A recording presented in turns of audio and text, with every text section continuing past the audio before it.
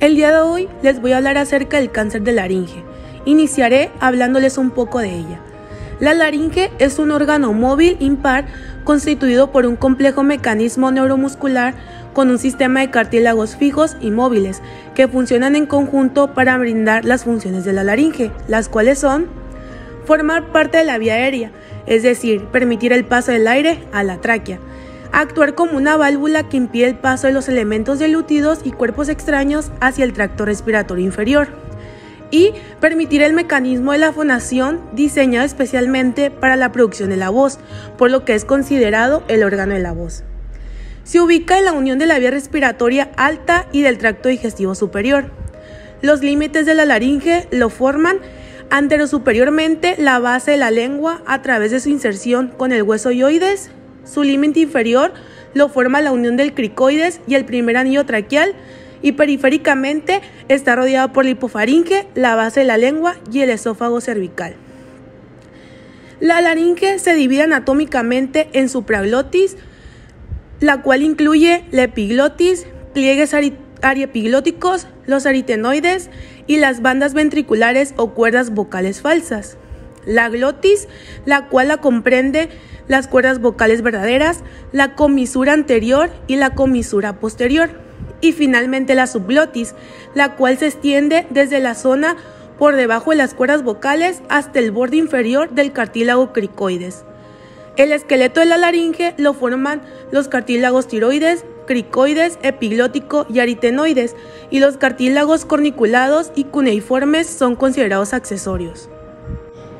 Ahora bien, el cáncer de laringe es definido como la transformación de células epiteliales de normales a anormales, secundaria a una mutación genética. Las células anormales presentan una multiplicación desordenada con la capacidad de invadir los tejidos cercanos y diseminarse a otras regiones a través del sistema circulatorio y linfático.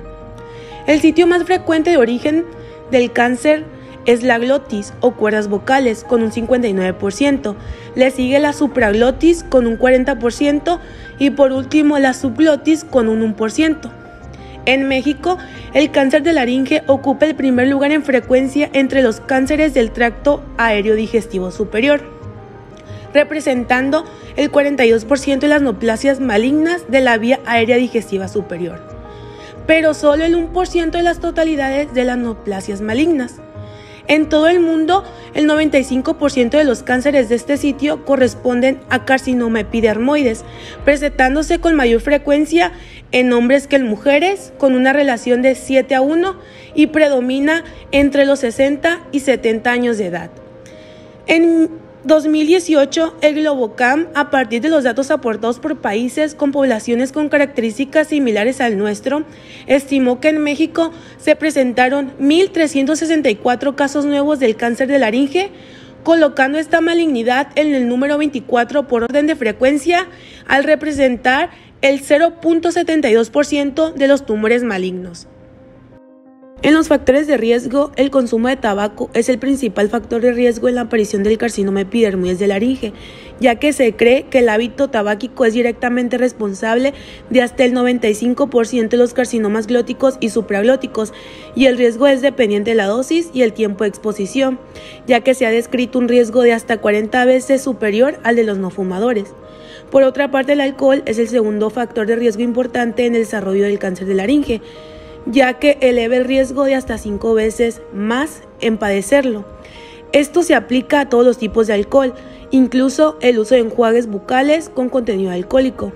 Se sabe que el alcohol es un cofactor sinérgico cuando se combina con el tabaco, ya que se estima que el riesgo de desarrollar un tumor maligno de laringe es de hasta 100 veces mayor en fumadores que beben en comparación con pacientes que no fuman ni beben.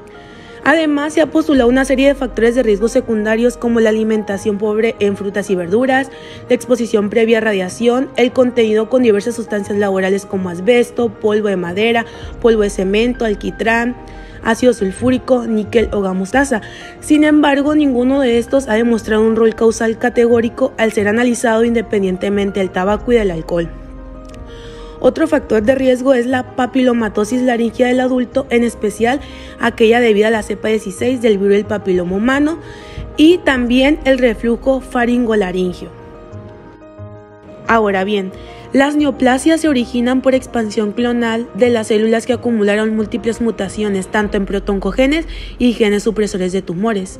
En el desarrollo del carcinoma epidermoides, tanto de cabeza y de cuello, pero en particular de la laringe, están involucrados los genes supresores de tumores P53, 21 y 16 y DOC1, y los oncogenes amplificados o sobreexpresados en estos tumores son el receptor de factor de crecimiento epidérmico 1, CEMIC, IN2, BCL, la familia del gen RAS, ciclina E, PRAD1 y EMS1. No obstante, aún queda por definir el rol y la importancia relativa de cada una de esas alteraciones genéticas en la carcinogénesis laringea. Ahora bien, la presentación clínica del cáncer de laringe depende de la localización del tumor. En el sitio glótico, que son los más frecuentes, la disfonía persistente y verdadera, es decir, la disfonía que una vez presentada no desaparece, es la forma de presentación más habitual, seguida de la disfagia. En consecuencia, todo paciente con disfonía persistente de más de dos semanas de evolución debe ser sometido a un examen laringio, especialmente si tiene factores de riesgo para desarrollar un carcinoma de laringe, que son los que ya mencioné.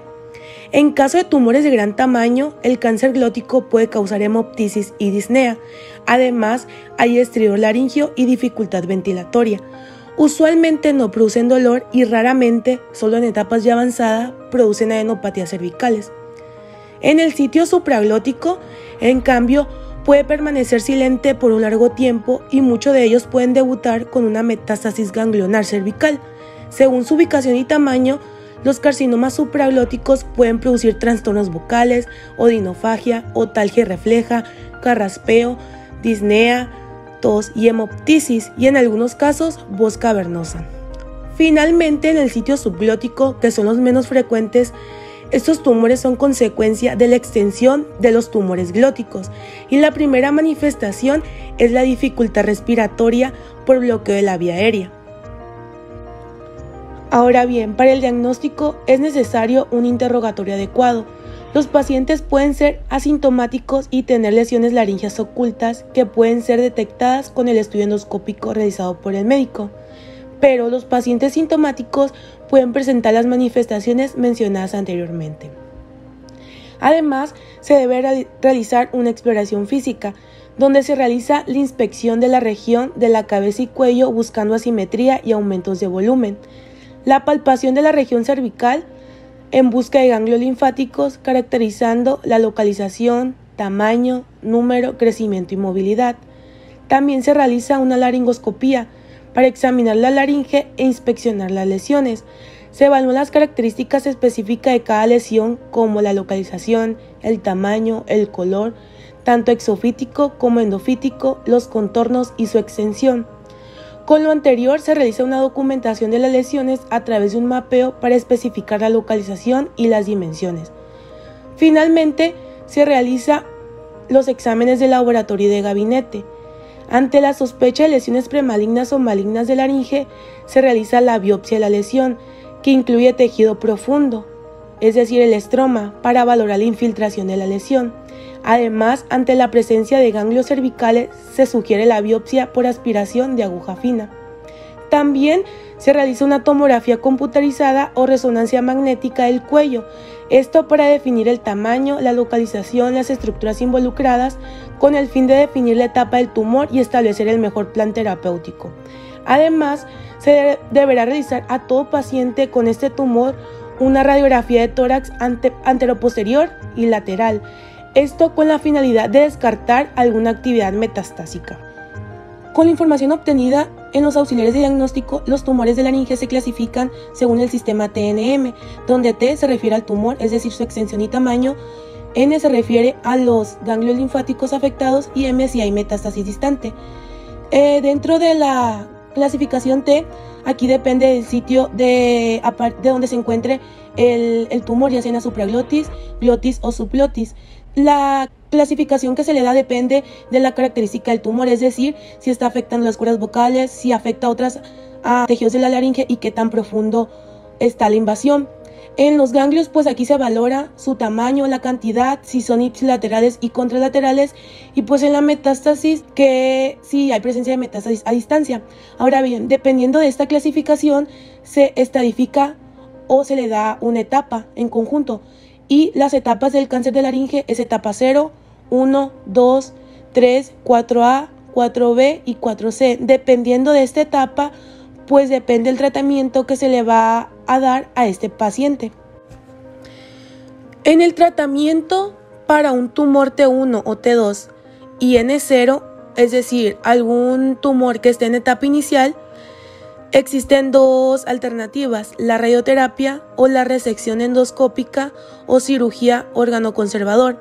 En el caso de la radioterapia, si se obtuvo una respuesta completa sin factores pronósticos adversos, pues de ahí sigue una vigilancia. En el caso de que con la radioterapia hay una recurrencia, existen dos alternativas, una cirugía conservadora más la disección de los ganglios del cuello o una quimioterapia o también una reirradiación y posteriormente pues la vigilancia.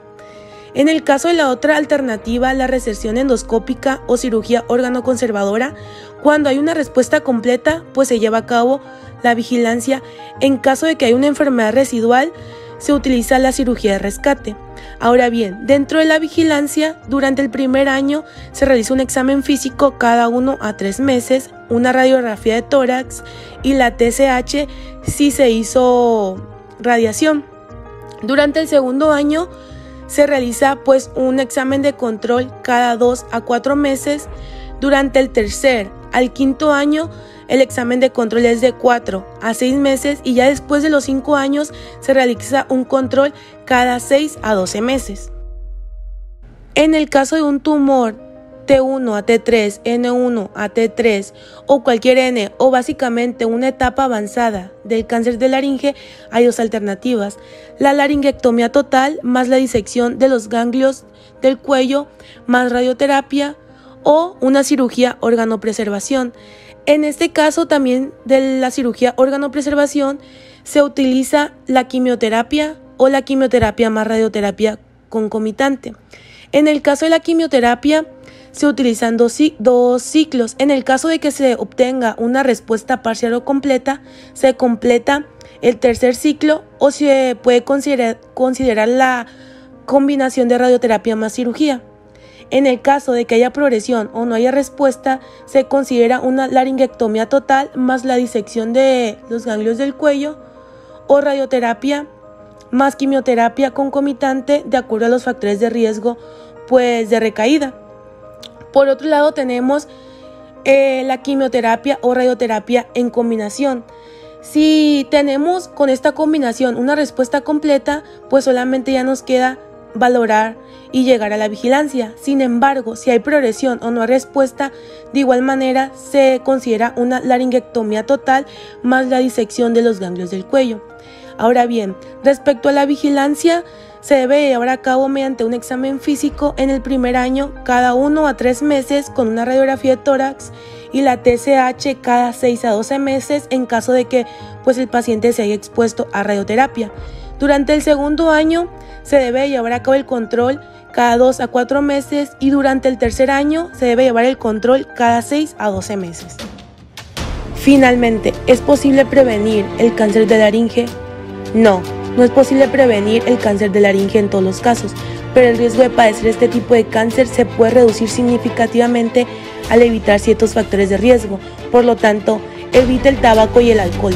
Evite los químicos en el lugar de trabajo. Cuide sus hábitos de alimentación y evite las infecciones por virus de papiloma humano.